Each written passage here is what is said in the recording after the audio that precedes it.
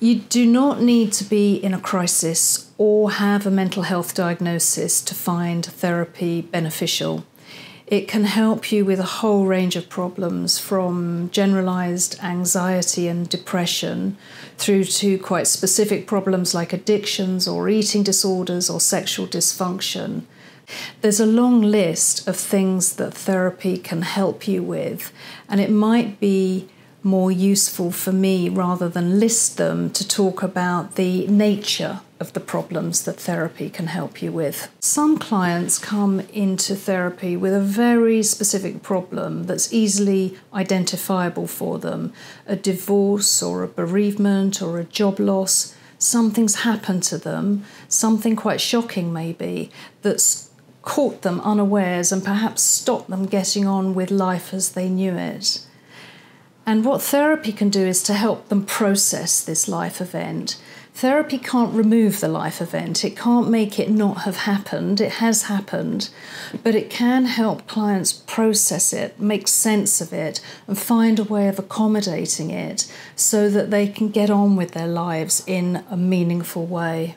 Sometimes clients come into therapy with no clear idea of what's wrong with them. They don't understand what's happening and they can't make sense of it. They might have low mood or they might be lacking in motivation. And this might be a new feeling for them, which can feel quite destabilizing and alarming, or it might be a repetition of an old feeling that they felt once in the past.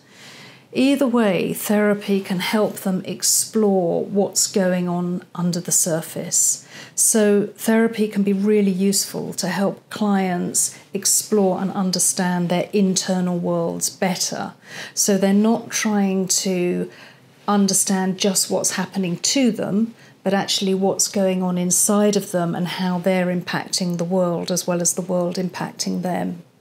So, for example, if somebody comes into therapy feeling bullied and marginalized at work, therapy might be able to help them understand the mechanics and the dynamics of what is going on here.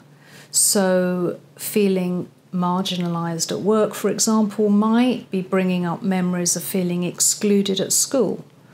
Dealing with an overbearing, difficult boss might be reminiscent of a parent who could never be satisfied. Therapy can help you unpack this and to make sense of it. It can help you notice your own behaviours and your own responses. Your therapist can help you understand the, your defenses. When are you being confrontational? When are you being avoidant? When is this useful? Or when is this actually problematic? And through understanding this, it gives you the tools to change. So instead of feeling like you don't have agency and you have no option, you can actually become more in control of yourself and the narrative, and that leads to better and more fulfilling relationships. Therapy is not going to tell you what to do, but it will help you to understand yourself and your behavior and your patterns of relating better. And that will help you find your own agency. And that means that therapy can help you affect meaningful change within your life so that you become the author of your own script.